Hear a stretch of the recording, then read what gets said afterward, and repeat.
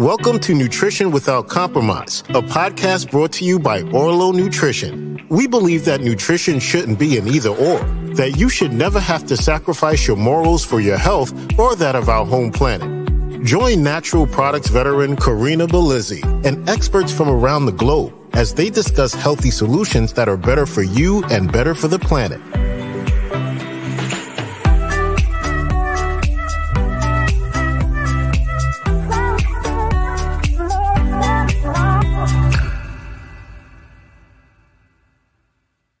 Welcome to another interview episode of Nutrition Without Compromise.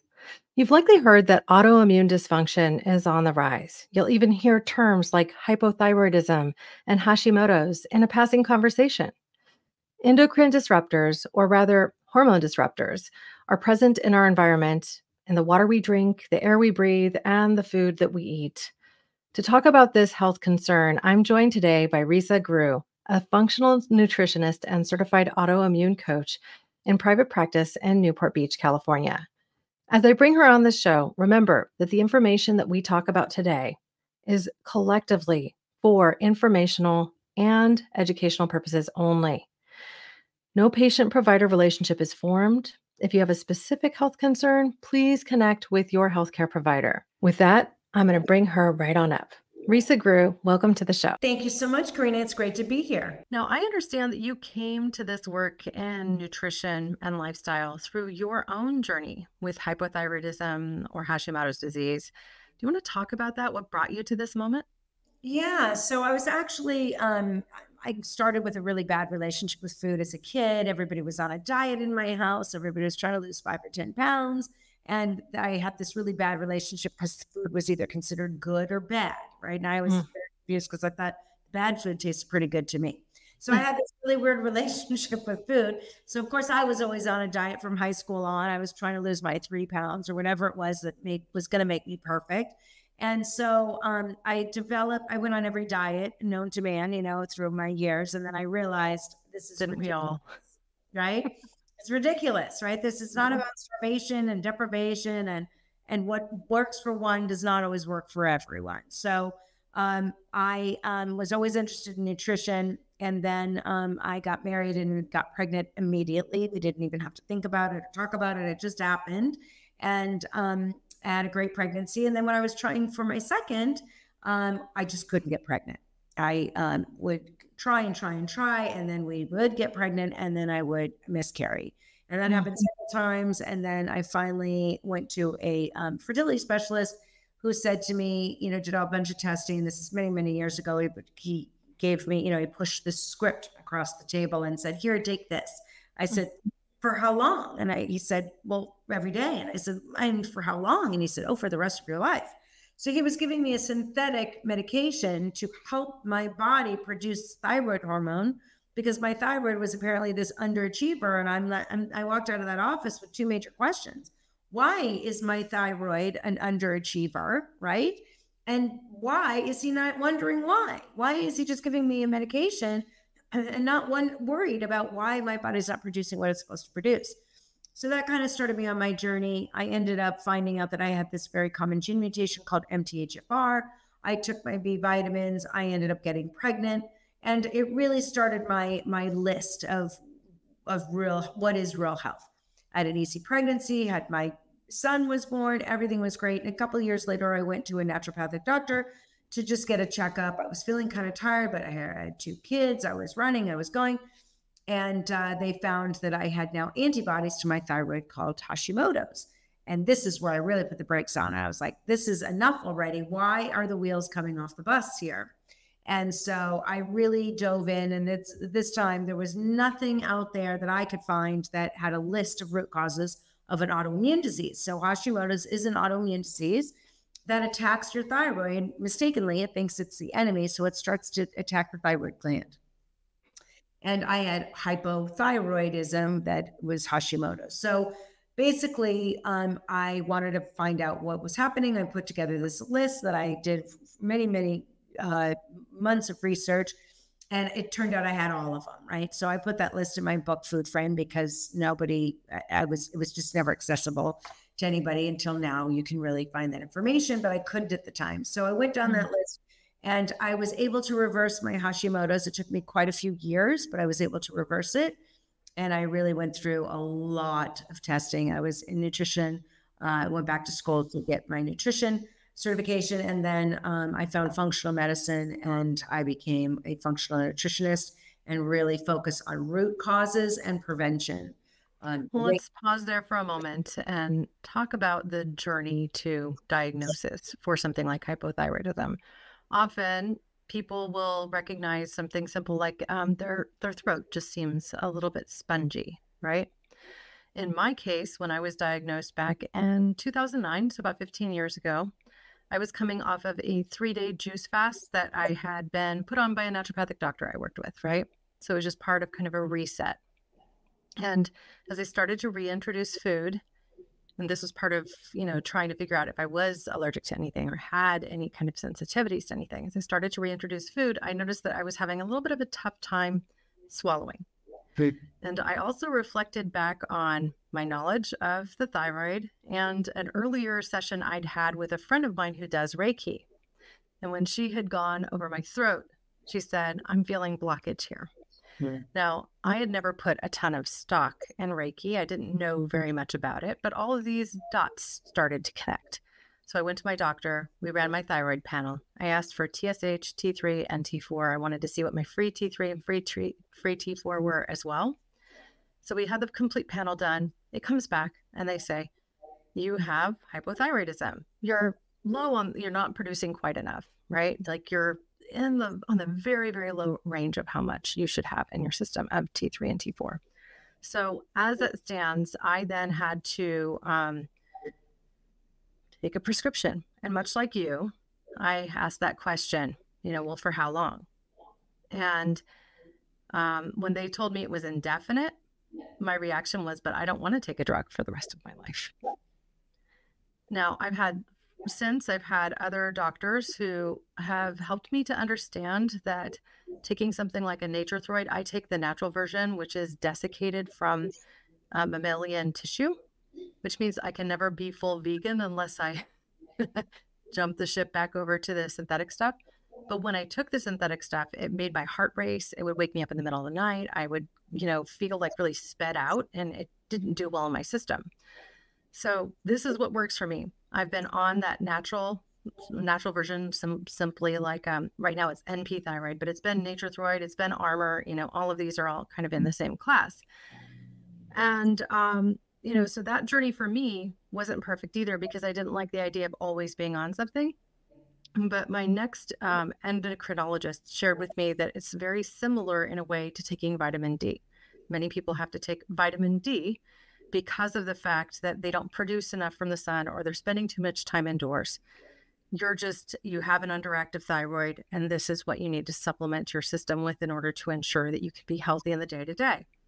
I still have not accepted that as my long term forever prognosis, and I've been working to reduce my levels. So, as I got to know your content and listened to you on a few podcasts, I was like, well, how did she exactly completely get off of these thyroid medications? What was that journey like? And um, you mentioned a ton of tests that you took. I imagine that it was monitoring your your T3, your T4, your free T3 and free T4 as well as TSH. Yes. So I actually do a full panel, uh, all nine markers, but those are really good, the ones that you do. But we're also looking at is there something that's competing for the thyroid site, like reverse T3? Well, mm-hmm. we're, when you reverse that that that pool of T3, that's your active thyroid hormone, it's only 7% of that equation. When you're reversing it, we usually see a, a lot of inflammation and we see, we can see stress. So if your adrenals are going, you're in a, you're living a very stressful life, then you have a high probability of reversing your uh, your T3 stores, right? So it may not be that you're deficient, that you're not making enough, or that you're not converting enough. It just may be that you're stealing from the pot because of your uh, systemic inflammation or your um, level of cortisol production. Now, this the other one that we look at is T3 uptake, and that has to do with sex hormones. Because remember, in the endocrine system, there are three departments, right? We have thyroid, sex hormones, and cortisol or adrenal glands, right? So those are the three things that can affect it. Now, there's other things that can affect thyroid for sure, But those are the three real major ones that can have a major impact on thyroid. So I always look at T3 uptake. Now, if you're taking the pill, the birth control pill, you have a dysregulated um, hormone. So likely that your T- T3 uptake is going to be low. If you have a lot of testosterone, it's likely that it's going to be high. Um, hmm. And same thing for men, it'll just have an estrogen and testosterone impact on that. But that's an important thing to look at because if you're taking the pill and you're having a, a dysregulated thyroid hormone numbers, it's important to see what's causing that. And then lastly, I look at two antibodies, thyroid globulin antibody and thy, uh, and anti, uh, TPO, thyroid globulin antibody, and then thyroid peroxidase antibody. So I'm looking at all nine markers. Uh, I did not get off of my thyroid medication. Unfortunately, I'm still in that process, but I have I have been taking thyroid medication, but I was able to reverse my antibodies. I hmm. started at 1,458 for my TPO, my thyroid peroxidase antibody, and it went below 34, which is what is undetectable. Wow, that's so incredible. That's a huge movement. And, you know, I turned out to have major heavy metals, even though I took out my fillings years prior. I mm-hmm. was a tuna fish from the time I was a little, little kid. And then, of course, in the 80s, when the ahi came onto the scene, I was doing tuna by day and ahi by night. And I eat a lot of fish because I don't eat red meat. I eat a little bit of poultry, but I eat a lot of fish. So, of course, mercury is going to have an impact on your thyroid and all metal as well. Well, and some people have an issue absorbing enough iodine as well, right? So the iodine is somewhat stimulating for the thyroid. I've seen naturopathic doctors put people on a supplement called like iodoral, which has a combination of iodine. Mm-hmm. Um, what is it that you like to go to for something like that? So I don't use iodine at all um, unless I test somebody mm-hmm. because mm-hmm. it's uh, you know, and there's a lot of there's two schools of thought on iodine. So there's a whole school of thought that Hashimoto should not have iodine, and there are a few people that feel that iodine is really essential for Hashimoto's. I tend to be on the, the former side that I don't really give iodine for people, but I think we get enough from our food, although you said, you know, not everybody absorbs it. But I believe that if you have enough digestive enzymes, if your pancreatic enzyme production, your hydrochloric acid, all your your enzymes are sufficient enough, then you're going to absorb your nutrients. Yeah. Well, I think the challenge then is too if somebody is following a strict diet, like you'll see purported by Dr. Michael Greger, who's um, advocating for whole foods, plant based, no additional oil and no salt, right? So then iodized salt is typically how you get salt and the iodine into your diet if you're getting it from a food source.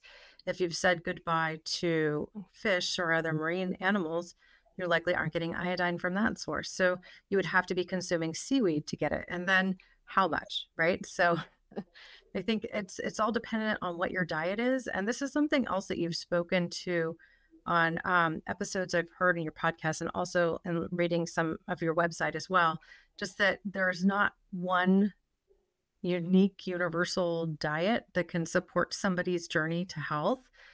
There are a lot of fads out there. There are the whole foods plant based, um, you know, advocates like Dr. Michael Greger. I'm trending in that direction myself. You also see people looking at something like keto or paleo or even carnivore. So, I mean, where do you sit on this whole spectrum and what modifications, if any, do you see as being universally supportive of getting a healthier endocrine system? So, everybody is different. It just is the way it is. We all have different genetics, right? Mm-hmm. So, our genetics load the gun and our environment and our lifestyle pull the trigger. So, if you are somebody who has these particular genetics and you're living next to a steel plant, you're going to have some different variations, right? You're going to have different expressions. If you're somebody who exercises a lot or doesn't exercise, if you're somebody who, like you said, you can't absorb the vitamin D from the sun, you know, these are everybody is different. Every body is different. So I do a lot of genetic testing because you may do well with saturated fat, but you do not do well with mono unsaturated fat. You may do great with lifting weights, but you do not do well with cardio. So everybody has different um, absorption um, uh, genes that we need to uh, we need to supplement with vitamin E or we don't or whatever it is then you know those are I, I do it specifically by the person The second thing that I did was I created Food Frame, which is my methodology because when I first started my practice decades ago, I put everybody basically on the same anti-inflammatory diet. I did all this food allergy testing and I was like, oh, geez, these are the foods you cannot eat. But then I started to realize when I people would have so many, I'm like, why did this one have three and that one has like 43?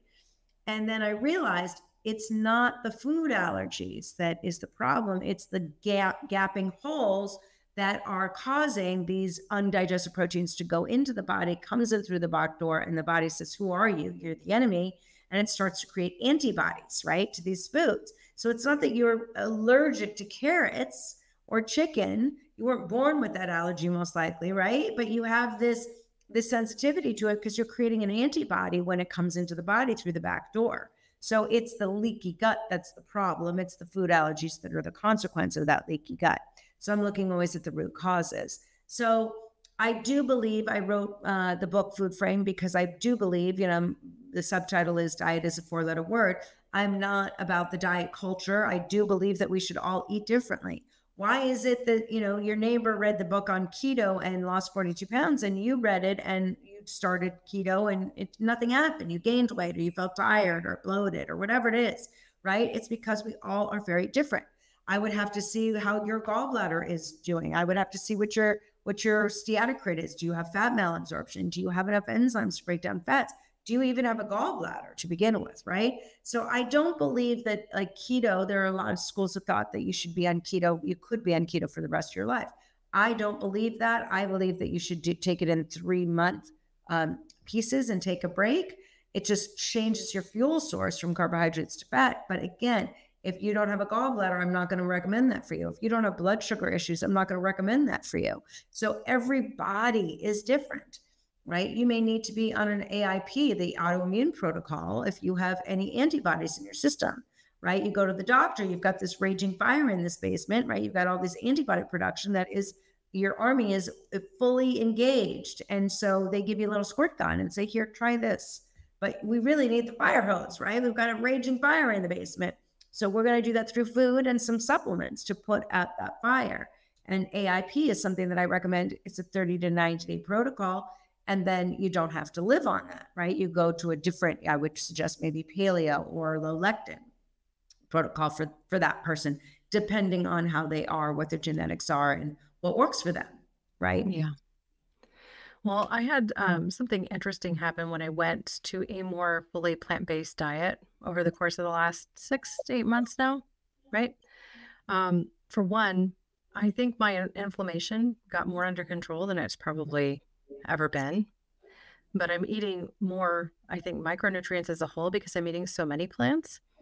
And what I found is that I was suddenly having the same symptoms I had when I was overstimulated with um, a levothyroxine, right? Mm-hmm. So if you're taking a, let's just say in my case, when I took a synthetic hormone for my T4 or T3 or combination of both, I've tried a lot of different things. I would wake up in the middle of the night with my heart racing, almost like I'm got pounding in my chest type thing. And I started to have that experience on my typical dose of my thyroid meds. And so I was like, well, heck, what could be causing this? And I did a little bit of reading and I was observing a, a little bit of the things I already knew just coming to the surface again, whereas probably related to my toxic load because I'm not consuming animal products the same way that I was before. And as with any diet, you know, you eat further up the food chain, guess what? These animals also bioaccumulate the toxins that they consume. So I probably have some sensitivity to that already. I have mm. one representation of ApoE4, as I shared before we kind of got into this recording, that can affect other things as well as your the way you um, integrate the omega 3 DHA into your tissues, mm-hmm. like your brain and your eyes. But guess what? Fats also impact your endocrine system. So it could very well be that I was consuming something that was kind of getting in the way of my system essentially working in its most optimal capacity. And that by removing it, suddenly now I'm overstimulated. Mm-hmm. And so I had reduced my dosage by one third. I took my new blood tests and things are appearing normal.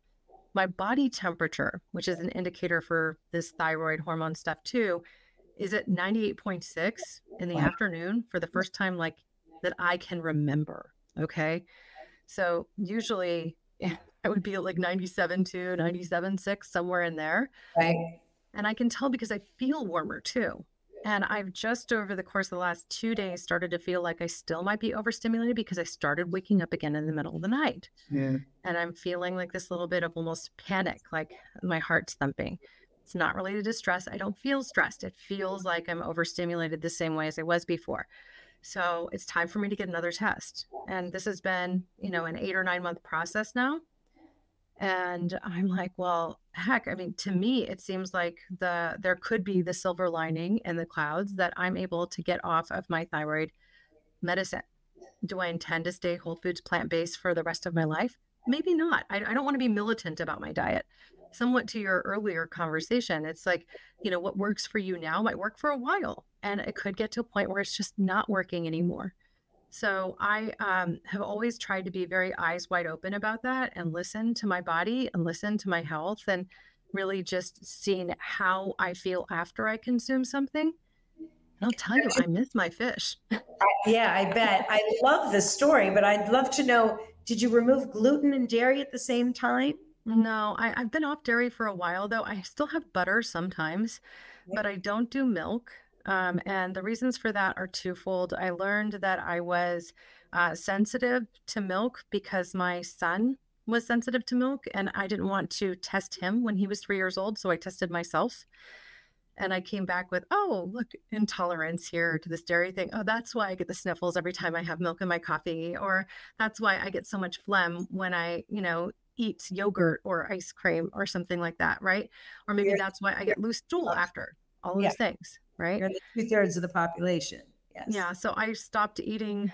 Um, basically, I'll every once in a while have a little ice cream. Every once in a while, I'll have like a whey protein shake or something like that. And I don't seem to be sensitive to the whey protein. I think it's the casein, but um, it just means that I haven't had that constant in my diet for a long time, like three or four years, right? So that was already gone. Um, I had, I still consume eggs periodically, but it's more like what I feel like my body wants it. Um, and I did also take an Everlywell uh, food sensitivity test a while ago and learned I'm somewhat sensitive to eggs. I'm also for somewhat sensitive to chicken, which I found surprising, and even beef. So I'm like, okay, if each of these things were creating an impact in me and I eliminated them, then maybe that was all playing part in it too. It's possible, but I would check to see if you have leaky gut too. Hmm. Yeah. Yeah. That's a possibility. I yes. am um yeah, incensed, I cannot do quinoa or broccoli. Interesting. So weird. To I can do every other crucifer and I consume Brussels sprouts about twice a week. So it's not just a blanket crucifer issue.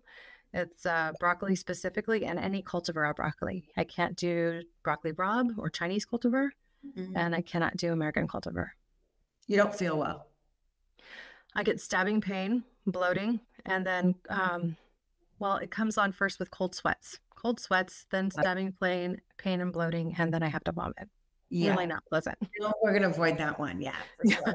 and now the same thing happens with quinoa. And I didn't used to. I used to consume quinoa like crazy. I loved it. I had this special salad I would bring to every uh, friend event or book club I went to with uh, quinoa and cranberries and lime juice and olive oil. And you can try millet as a substitute. Mm, yeah. substitute. Yeah. It's interesting because I'm I'm sensitive to buckwheat, which I learned through the Everlywell test too. And I'm like, I really? Not not wheat, not gluten. Yeah. Gluten I've been with. So I would look into how leaky is your yeah. Do you have gut permeability? Yeah. So just that's a good question for people. How do they find out? A lot of the tests that you've mentioned, I think can be somewhat expensive. So I think giving people a litmus test for what they can expect if they go to their doctor or to a professional like yourself and say, you know, I'm really curious about the thyroid thing. I've suspected for some time that I might have an issue or I might have leaky gut because some things are making me sick that didn't used to. How do they do that? So whenever the everybody who I work with, they're coming into my office, and I'm going to order a comp bioscreen, a, a very comprehensive uh, lab that is going to give me all four markers of their blood sugar, so insulin including, It's going to give me all nine markers of the thyroid. It's going to give me all of their white blood cells, and we're looking for variation and, and a pattern of potential viral or or uh, bacterial. looking at all their iron markers, their inflammatory markers, which conventional medicine doctors do not test for, which is a shame. But I'm looking at all of those, vitamin D, all these things that are super important.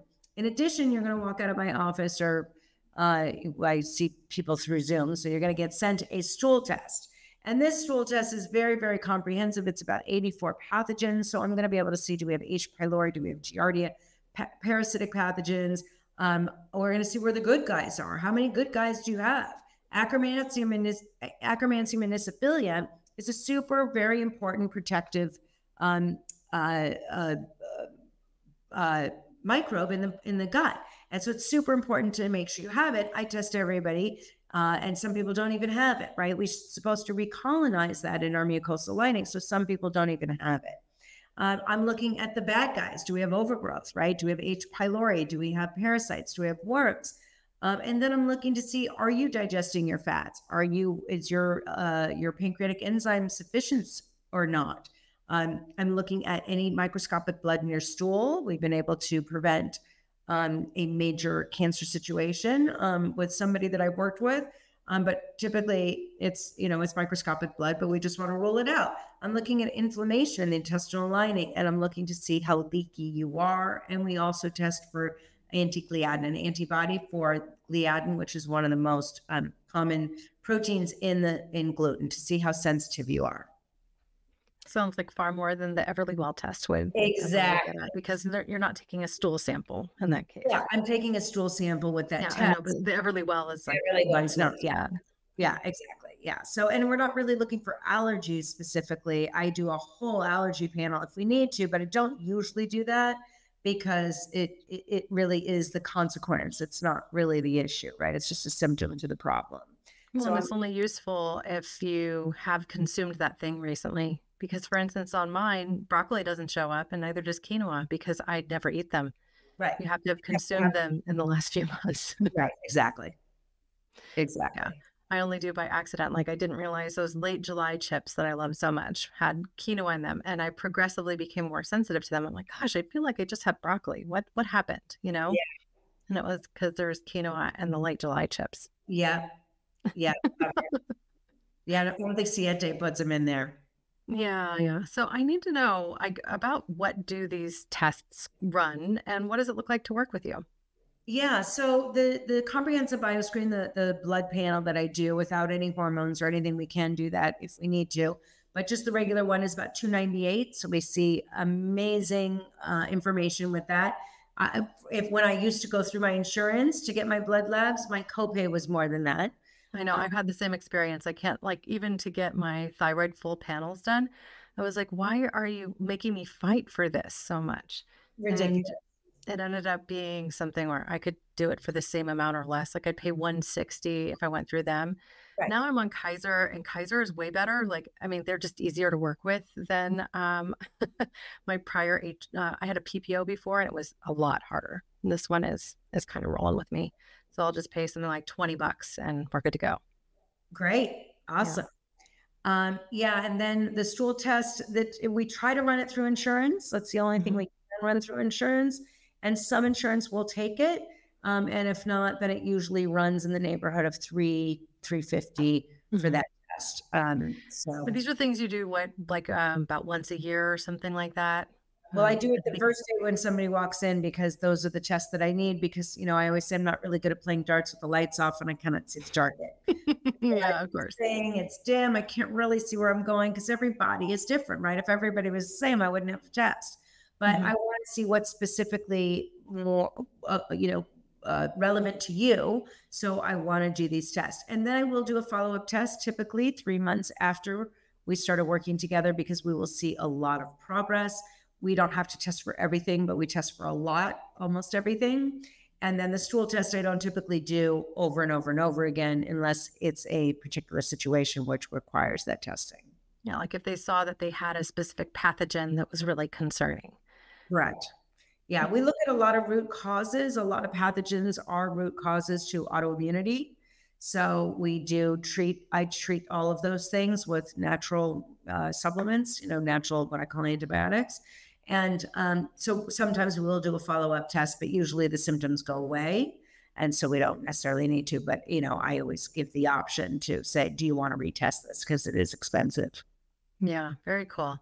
So I imagine in some cases you're uh, working with a person to get these tests through their care provider if they have really good insurance. In other cases, you're just working directly with them to do the labs. I usually work directly uh, with the patient because I've tried so hard to help people save money through their practitioner. And unfortunately, the practitioner won't do it because it's going to be a front office nightmare for them or mm-hmm. because they don't even know what the lab test is. So I don't. sounds all too familiar. Yes, exactly. yeah. average person, mind you, we're talking about autoimmunity, they go through six physicians before they're finally diagnosed with an autoimmune disease. So mm. just cut to the chase and get these tests done so that you know if something's off, if you feel that something's off, something's off. So I always you say, you know, trust your body, you know it better than anybody else does. I work That's with right. people all over the country, and so um, I can work via Zoom with everybody, and um, I uh, I'm very fortunate. I get to watch people heal all day. Well, that's amazing. Now I'm curious. Um, now you mentioned your protocol briefly that you outline in your book for helping people who have Hashimoto's or hypothyroidism. Could you summarize it for our audience just so they get a feel of kind of what that might look like? So, if you're walking into my office with antibodies, right, whether it's TPO or thyroglobulin antibodies or one or both, then I'm going to basically put you on my detox for two weeks. We're going to get the toxins out of the system so the liver can work more optimally. You'll start to feel better, perhaps. Most people do, depending on how you eat when you walk in the door. But we're starting to decrease that systemic inflammation and increase that good gut health. After that two weeks, I'm usually going to put that person on an AIP protocol for 90 days. Hmm. And then um, we should, that's the fire hose. And then after that, depending on how you are, um, we, I mean, usually I've really never had an issue where people still have symptoms after all of that. But if they do, then you know we we do some testing, and I keep digging to find out what is causing um, the issue because there's so many things. It could be in dental, it could be it could be everything. It could be mm-hmm.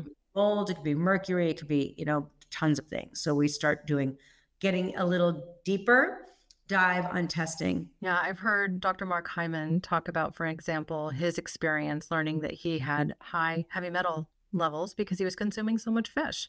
Yeah. And if you consume swordfish and tuna and a lot of these larger bodied fish with regularity, you will develop mercury toxicity. So there's pathway to ensure that you can help scrub that out of your system. Exactly. And sometimes it really is getting down to moderation and what can work for you. Yeah, and we'll naturally chelate a little bit. We'll just decrease our, our, our load, but not everybody does. And some people need assistance with that. But first, you got to find out how much you have. Right. That's right.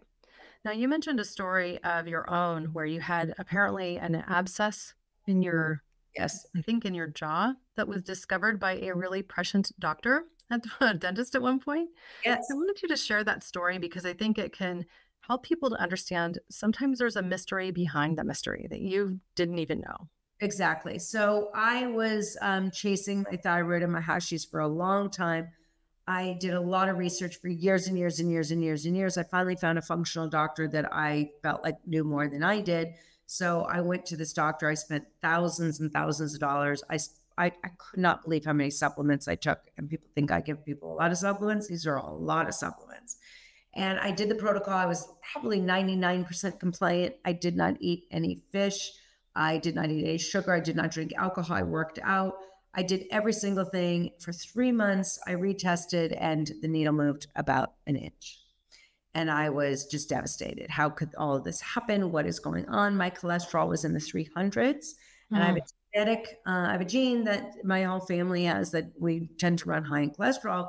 I wasn't really worried for my cardiovascular health from that, but I followed it up with a Boston Heart Lab, and all my markers were super high risk for cardiovascular events. So I know mm-hmm. the teeth and heart are related, and so I took. I, that's when I ordered my own stool test, and uh, I took the stool test in, and I uh, went into the both the Boston Heart Lab. I went to a biological dentist, and she found it right away. She said that's a salivary bacteria. Put me under the the scan and they found an abscess that had grown around a root that was there since uh, they had extracted my wisdom teeth 23 years prior.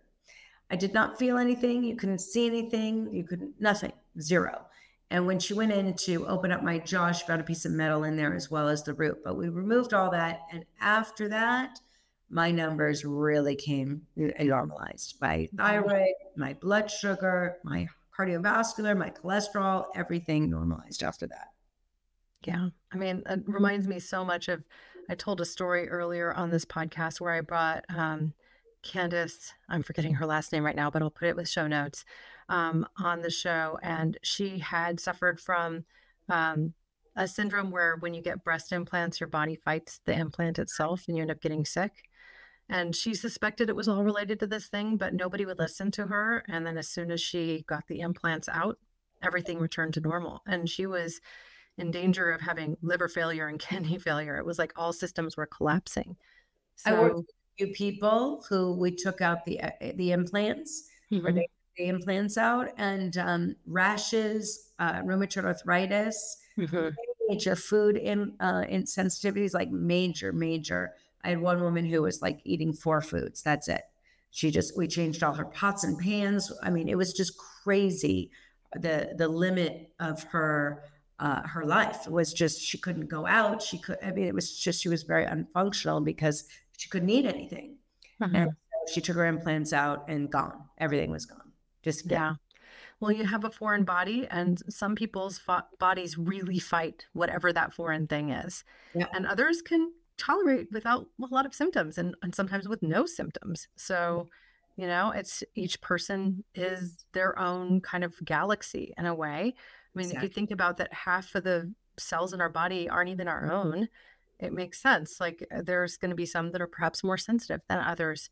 Exactly. And, you know, if you have an insufficiency with your MTHFR, the mm-hmm, gene that some people like to call it, I can't say it on this show. Yes what you would say to somebody who cut you off on the freeway. That's yeah, exactly.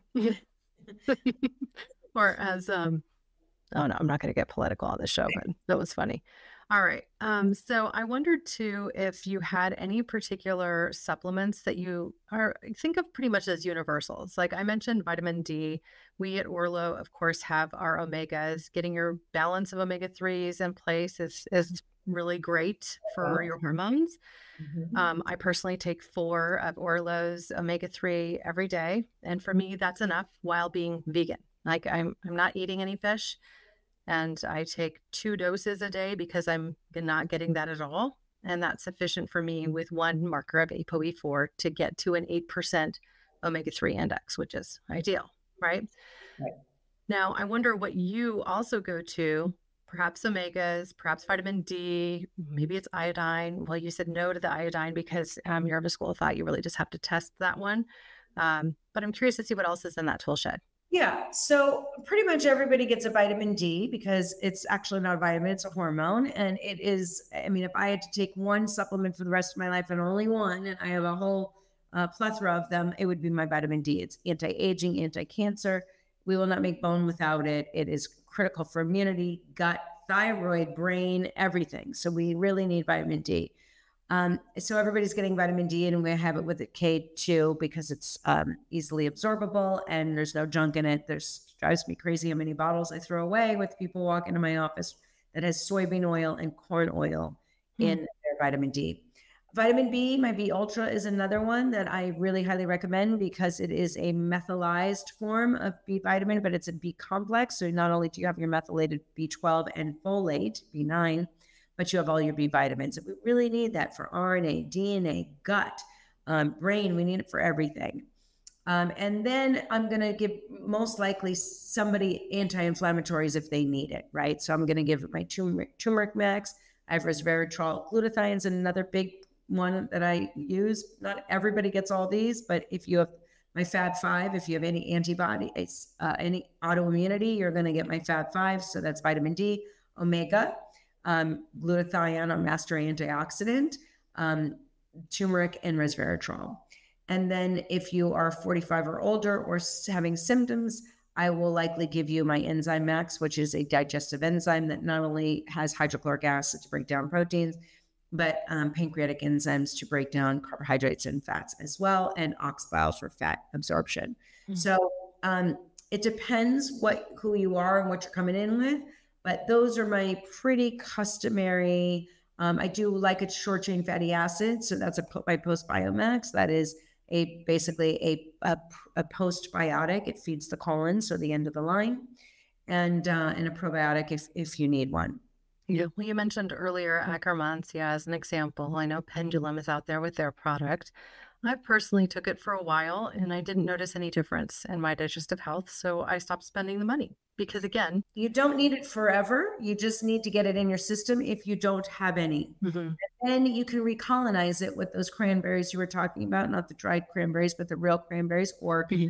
Um, pomegranates or some berries. Those will recolonize it in your mucosal lining. Yeah, I mean, I put frozen cranberries in my protein shake every day. It's one of my joys.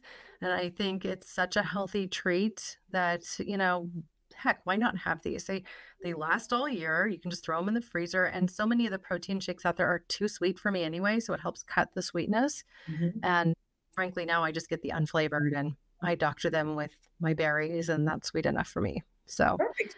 I encourage That's- people to do that. And um, also just like getting a good, healthy probiotic anytime you are afflicted with a need for a antibiotic. Like I feel like we don't talk about that enough. Even though doctors will recommend it, they go, "Oh, well, I'm going to get my Yoplait." It's like, sorry, Yoplait's not going to do it for you. like maybe you need to go to something that's a little bit more supportive. Yeah, and I know that, yeah, just getting a broader scope of your antibi- antibiotic covered with a probiotic is is really helpful. Um, looking for a probiotic multi, essentially, one that has several different strains in there is a really good idea. Yeah, I mean, we're starting to see this is where science is going. Um, more customized probiotics for people. You know, depending if you have chronic UTIs or you have um, digestive issues or acne or whatever it is, we're starting to see more customized probiotics, which I'm super excited about. Yeah, I think there's movement in the right direction for sure.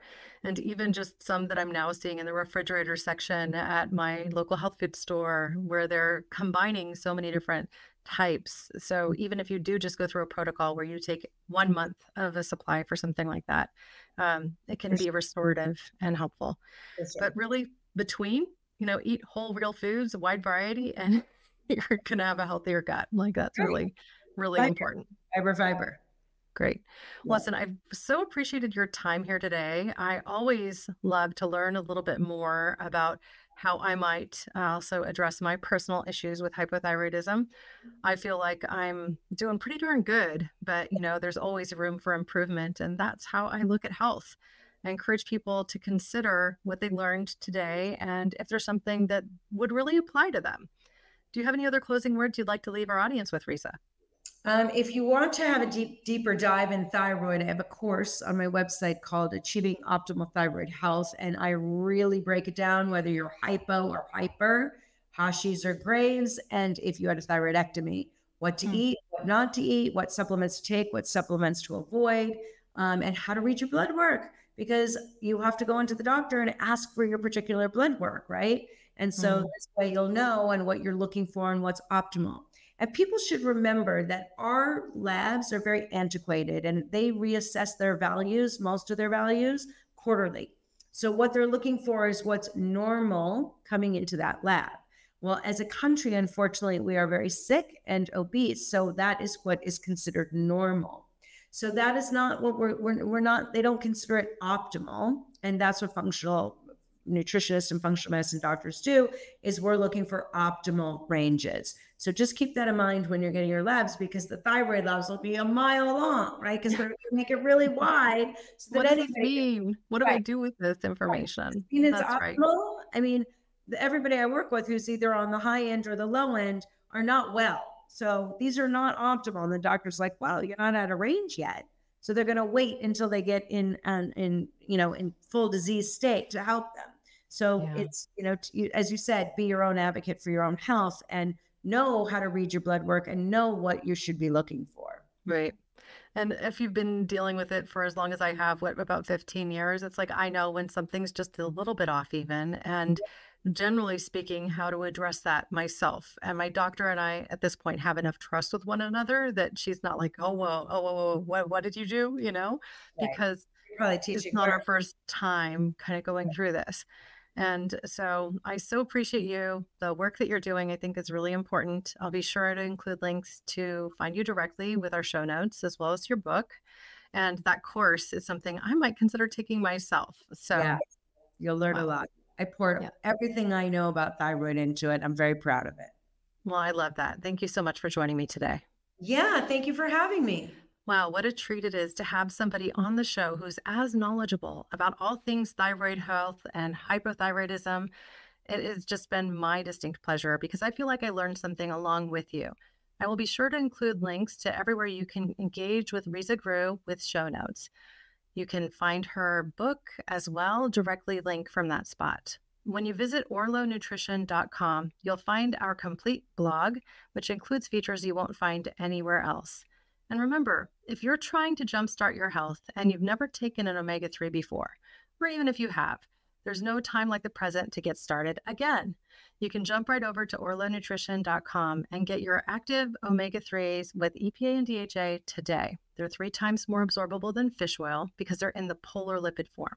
So even if you're like me and have one representation of ApoE4, you'll be sure that that DHA is finding its way into your brain and eyes and other tissues.